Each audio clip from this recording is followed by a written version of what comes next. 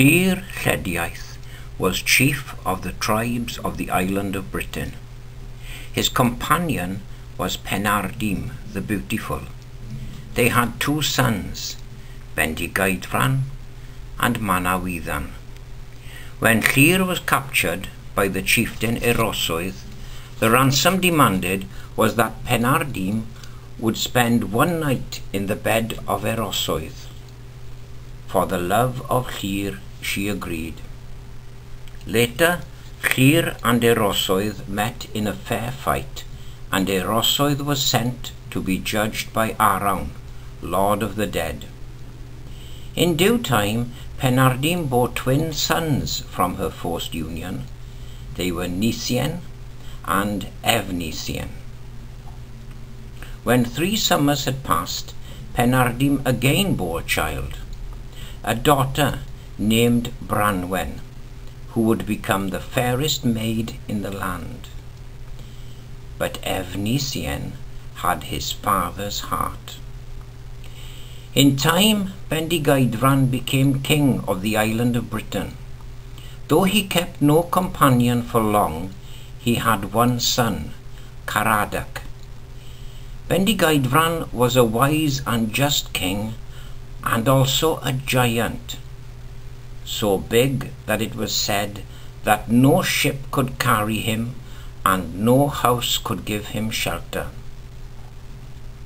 One day, the ships of the Irish visited the shore. On board was Matholwch, king of Ireland. He came asking for Branwen to be his companion. Bendigeidfran and his chiefs considered this and determined that here was a way to put an end to the feuding between the two islands, and it was agreed upon. But Efnisien was not in the council, being away on an errand, and he knew nothing of this. During the three days of celebration that accompanied the hand fasting, a lone Irish herdsman was watching over the horses when Efnisien came upon him. He asked whose were these fine animals, and when he heard the Irishman speak, he was filled with anger. Believing that his land was under attack, he killed the herdsman, then cruelly mutilated the horses. When word of this outrage came to Matholwch, he and his companions knew a terrible rage and humiliation. They prepared to leave. Bendigeidfran tried to make peace, but there was only one honour price that would satisfy Matholwch. But Bendigeidfran would not deliver up the head of his brother. So another gift was offered and accepted. Bendigeidfran possessed the cauldron of rebirth. When any die, if they are put into this cauldron, they would return to life. This gift was accepted, though Amergin, the oldest and wisest of the Druids of Ireland, counselled that none in Ireland should know of the shame put on them or of the cauldron. So a tynged, a fate, was put on all, that none should speak of these things. So did Branwen enter Ireland, and peace and prosperity reigned for three years. A son was born to her. Gwern was his name, and this gave Matholwch and his councillors much to think on. Under the laws of the old tribes, there was neither marriage nor father's right. Children were the gift of the mothers, and so the king was always the son of the old king's sister. By the laws of the ancient harmonies, Gwern was now heir to the island of Britain, not Caradoc. When news of this was sent to Bendigeidfran, he, Manawyddan, and Nisien saw only mutual peace and prosperity coming from such a thing. But Efnisien, whose heart was always filled with anger and bitterness, was chief among those who opposed the son of Irish soil ruling over them. Then Amergin died, and the Tynged was broken. Then was the shame of the Irish and the knowledge of the cauldron spoken of. The chiefs turned the heart of Matholwch against Branwen until he sent her from his presence. She was locked in a room all night and sent to work as a drudge in the kitchen by day, where she was severely beaten. One day she found a small wren fallen from its nest and took it secretly to her room. There she fed and nursed the wren and taught it speech. When it was strong enough, she sent it with a message to her brother. Great was the anger of Bendigeidfran and his brothers when they heard the message of the wren.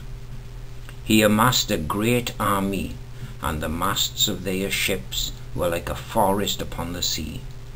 They sailed to Ireland, with Bendigeidfran the giant wading through the water before them like a moving mountain. They landed at the mouth of the Boyne, that great river that flows past Tara, where sat Matholwch. When Matholwch saw this, his coward's heart failed him, and he sent for Branwen. He promised her he would restore her to her child, and she would reign with him in Tara, if she would turn aside the anger of her brothers. She spurned him then, and told him that she would rather spend an eternity in the kitchen than one night in the bed of a mouse heart. But Branwen was a peacemaker, and she did not want blood spilled. So she told Matholwch how the anger of her brother may be turned. She said that she and Gwern should be escorted to her brother's camp. And there was one thing that Bendigeidfran had always secretly yearned for. Never had he dwelt in a house, and he would not use the wealth of his chiefs for his own ends. But if Matholwch would have a house built large enough to house Bendigeidfran, this would be an honour price. So it came to be that there was peace, while Branwen and Gwern were reunited with her brothers, and the great house was built. Joy was in the hearts of the peacemakers, but some were angry that they had been so easily bought. Chief among these was Efnisien, who knew no joy unless he was spilling the blood of enemies, real or imagined. When the house was completed, Matholwch and his host came and bade Bendigeidfran welcome into his home on Irish soil. All left their weapons outside and entered the great hall of this house, where Bendigeidfran sat at the head of a feasting table before a great fire that burned mightily in a massive fireplace. As the revelries wore on, Branwen brought forth the young Gwern. His uncles held him fondly and passed the infant to each other. But when he came to Efnisien, Efnisien threw the child into the fireplace, breaking his skull. Manawydan leapt into the flames, but neither his strength nor his magic were soon enough to save the child. So Efnisien added kinslayer to his crimes. The Irish rose up in anger and horror. None having weapons, they fought with bare hands until they fled through the night vowing vengeance. So did Efnisien bring about the war he lusted for. The next day the Irish army returned, and a great battle was fought all day. Many died on both sides, and none could claim a victory. But that night a great red glow could be seen on Tara.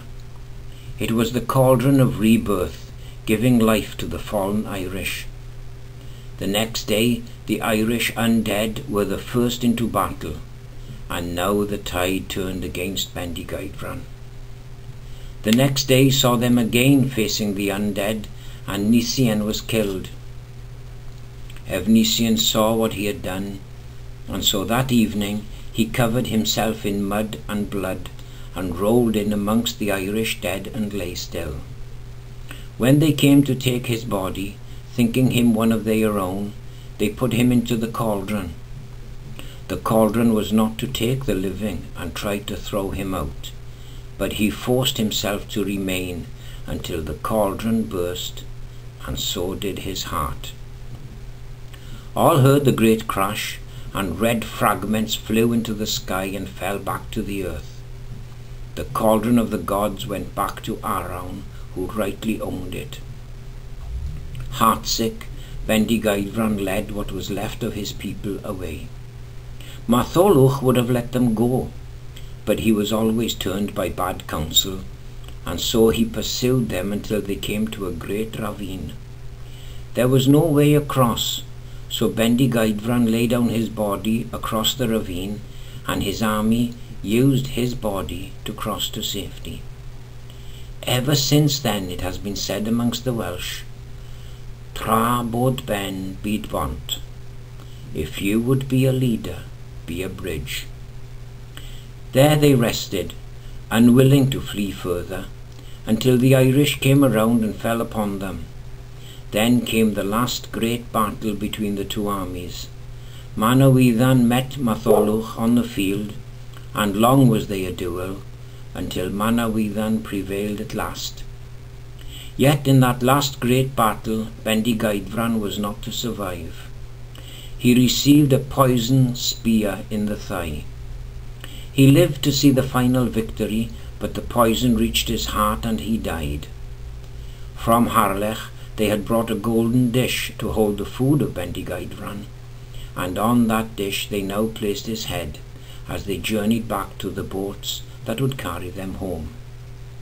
Of the host of Bendigeidfran, all that remained were the king's head and seven who will be remembered remembered for as long as the ancient tongue is spoken in this land. They were Manawydan, the king's brother, Taliesin, famed for his many births, Pryderi, prince of Dyfed, Heilyn, son of Gwyn the Ancient, Enoch, Gliniau, and Grydion. The Irish died to the last man.